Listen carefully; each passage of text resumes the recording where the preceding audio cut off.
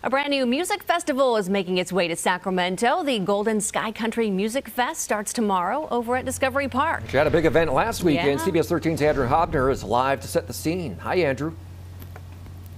Hey guys, you know, it's pretty amazing. Talk about getting more bang for your buck, right? The only thing that really needed to change here was some iconography, but right through these gates just last weekend, you had roughly 145,000 people spread over four days for Aftershock.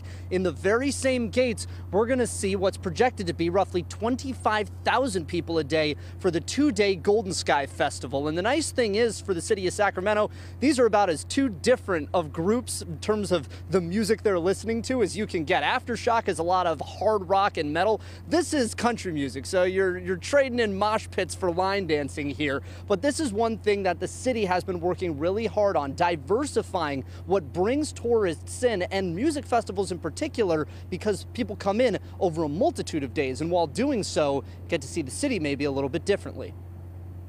Typically, the event doesn't start until afternoon every day. So that means they're having breakfast and probably lunch somewhere in, in our hotels and in our restaurants. And then when they get out, they're not going to their hotels to go back to bed. They're going to restaurants and bars. So the economics extend past the festival. Uh, and it is a great way for them to get familiar with our city.